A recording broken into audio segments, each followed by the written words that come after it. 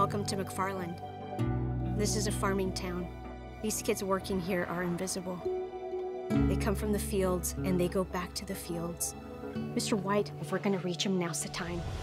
Have a good day. I'm Coach White, your new PE teacher. Diaz, Diaz, Diaz.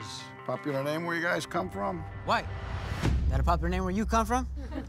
All right, run a lap. Go. Yeah.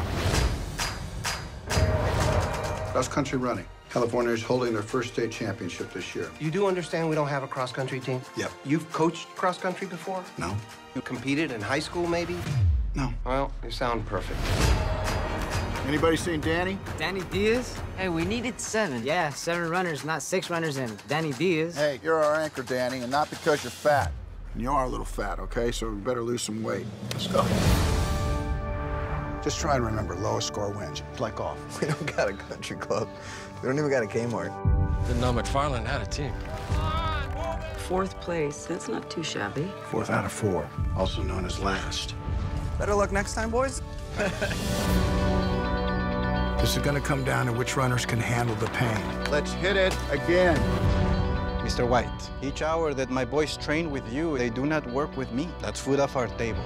No one stays in McFarland unless they have to. There ain't nothing American dream about this place. I'm guessing running's the best thing you've got. Me too. What's going on? Team fundraiser. My boys need new uniforms. You are a good man, and so I'm helping you. Okay, now go shower. I'll be honest with you. The odds are stacked against us. You guys are superhuman. There's nothing you can't do with that kind of strength, with that kind of heart. Let's go show them how it's done.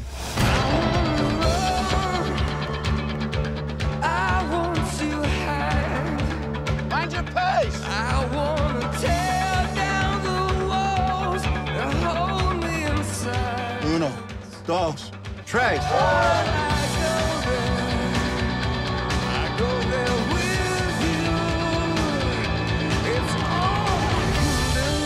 Tell your father it was an honor to be invited into his home. Dad, he said it was an honor to be invited into your home. Tell him I say thanks. Well,